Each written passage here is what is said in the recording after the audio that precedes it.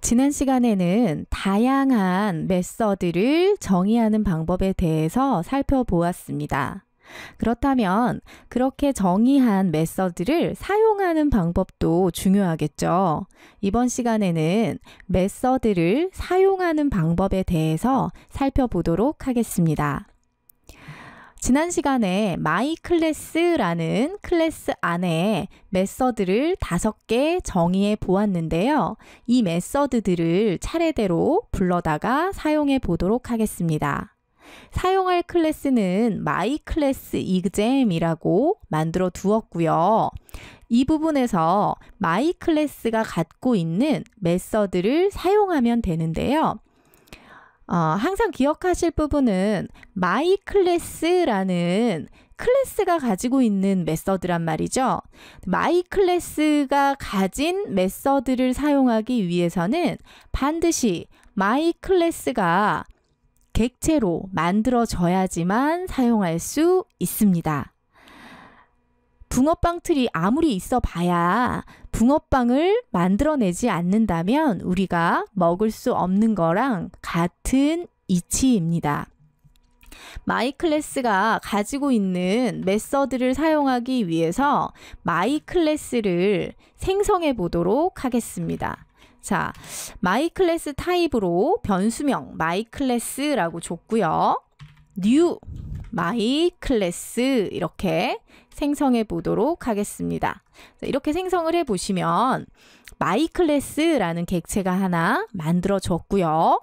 이때 my class 점 해보면 어, 지난 시간에 한 번 정도 설명을 드렸을 텐데요. my class 점이라고 했을 때는 이 reference 변수가 가진 클래스 그죠? 이 객체가 갖고 있는 속성, 필드라든가 메서드에 접근할 수 있습니다. 그래서 점 하시면 되고요. control space를 누르셔도 들어올 수 있습니다.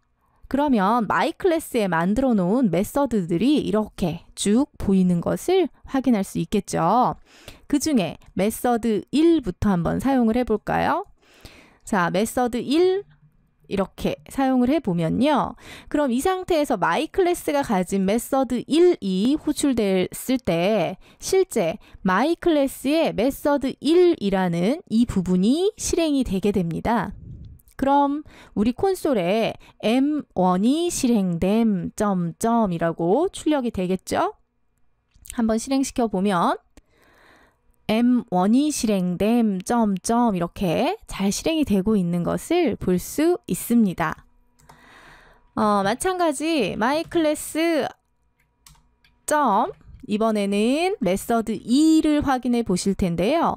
메서드 2를 사용하실 때는 메서드 2 가 정의된 부분을 살펴보면 반드시 매개 변수로 뭘 받길 원하냐면 int 값을 받길 원하거든요. 그래서 그 값을 넣어줘야지만 해당 메서드를 사용할 수 있습니다. int 값이니까 10 하고 한번 넣어볼까요? 그런 다음에 다시 실행을 시켜보면 10을 이용한 M2 실행 이렇게 출력이 되는 것을 확인할 수 있죠. 실제 my class가 갖고 있는 메서드 2가 실행됐을 때 이 부분이 실행될 거기 때문에 내가 넣어준 값을 10을 이 변수 x가 받았을 거고요. 이 x를 출력하라고 했으니까 10이라는 값이 출력이 됐을 겁니다. 10을 이용한 M2 실행 이렇게 실행하고 있는 것을 확인할 수 있겠죠. 다음 세 번째 메서드 같은 경우는 어, myClass.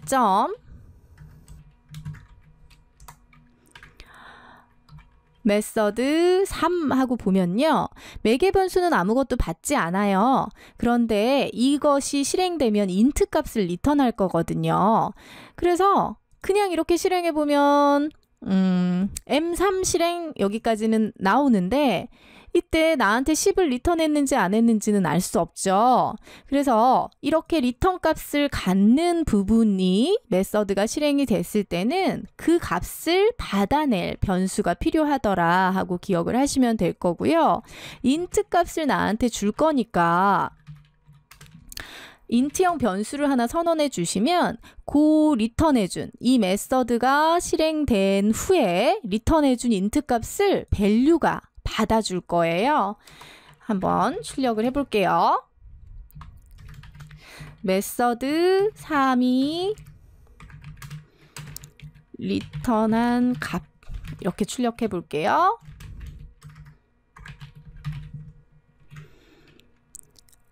자, 이렇게 실행해 보면 method 3이 리턴한 값 10이 출력되고 있는 것을 확인할 수 있겠죠.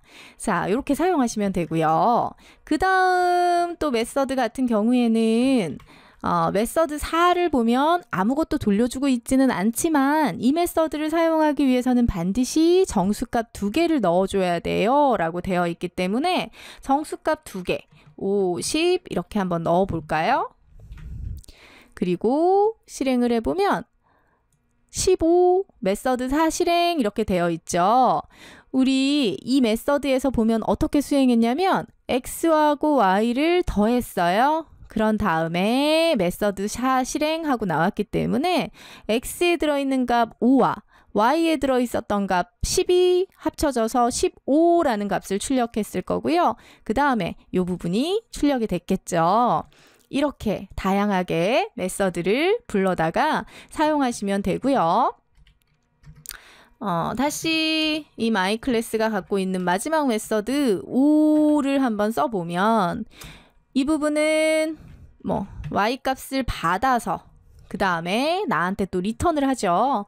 그래서 리턴한 값을 int형 변수에 받아서 출력을 해 보도록 할게요.